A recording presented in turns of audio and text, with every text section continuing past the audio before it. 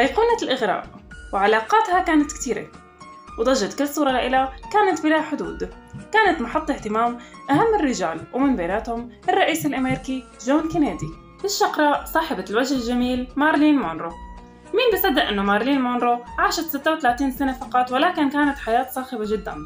ولدت عام 1926 وماتت انتحار عام 1962 ما كانت حياة عادية أبدا من طفولتها لحد موتها. عاشت بميتم لسببين بسبب عدم معرفتها لوالدها الحقيقي وبسبب مرض أمها اللي حاولت تقتلها أثناء طفولتها.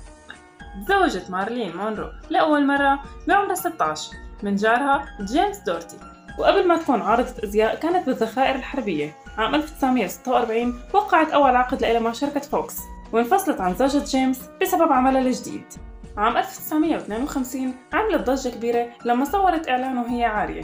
ولما هاجموها الصحفيين صرحت بأنه عملت هذا الشيء مشان تدفع أجار بيتها. وبعد تصريحها تعاطفوا معها ملايين الأمريكيين.